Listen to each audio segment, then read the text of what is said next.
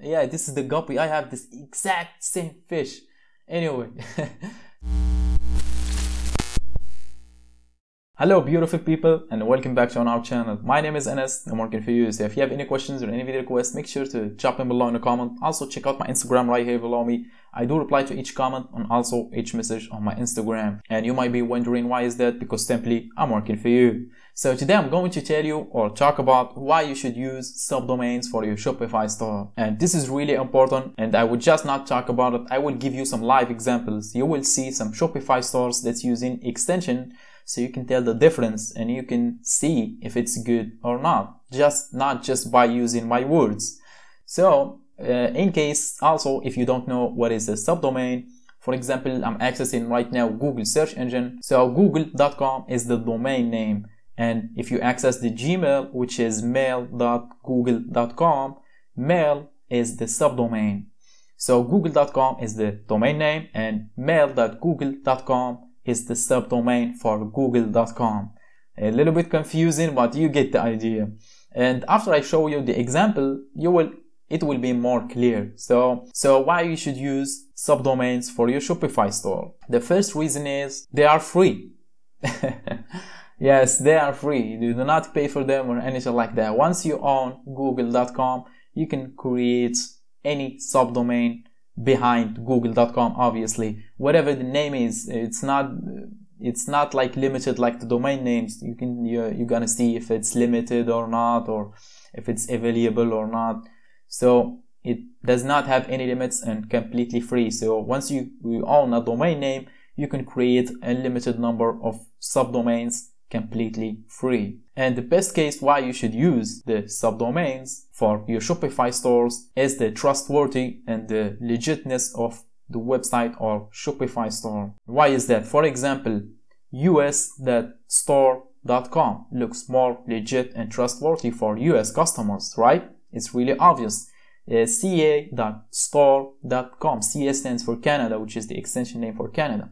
So it looks more trustworthy, and legit, for uh, customers based in Canada. That's really obvious. Even though if I'm in uh, if I'm US and I saw uh, us.store.com, it looks more legit. And in examples I will show you, you will see what I'm what I mean, what I'm talking about. And also Shopify is really really easy to handle subdomains on it.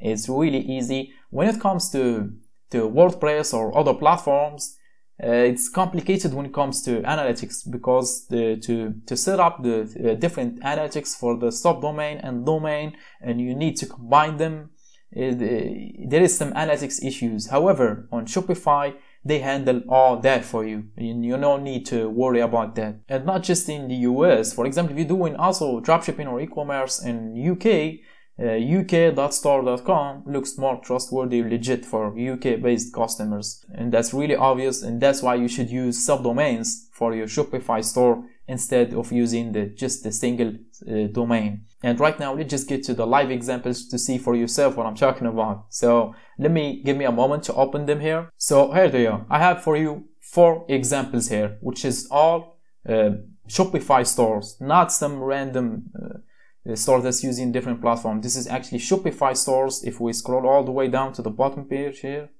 as you can see, it says powered by Shopify, as you can see here. So this is all Shopify stores. And the first one is, yeah, it looks funny. meme box. Do you remember that video of that woman? Uh, she was like, got sued for some meme she made for someone or something like that. And she was like talking to the judge and she said, I did not make that meme and I didn't share that meme and I have never saw that meme. she she become a meme herself. That's really funny. So as you can see, the store called memebox.com. And if you notice, it's not just memebox.com. It's actually us.memebox.com. So the subdomain is US. And as I said, you can easily create this for free and you don't have to pay any extra or anything like that.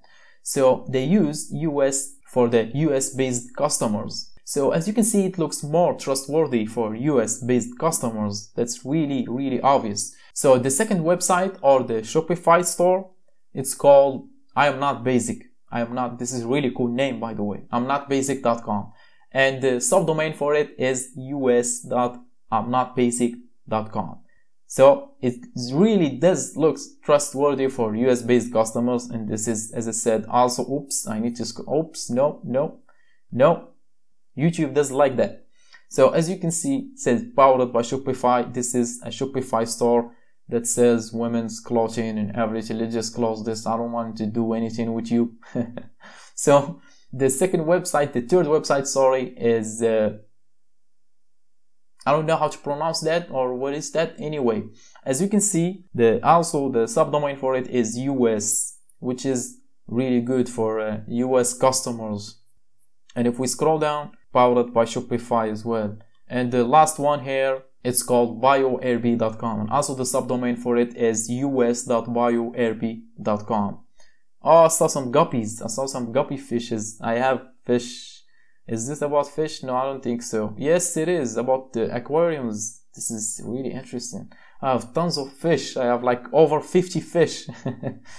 anyway, I'm getting drifted here. As you can see, it says powered by Shopify. This is also a Shopify store and they sell uh, aquariums and terrariums in the US. So they got, yeah, this is the guppy. I have this exact same fish. Anyway, so as you can see, they use the subdomain us.bioairb.com as their uh, their main website, their main domain name for US based customers. So I hope you get the idea. And if you guys any any questions or any more video requests, make sure to drop them below in a comment or Instagram right here below me.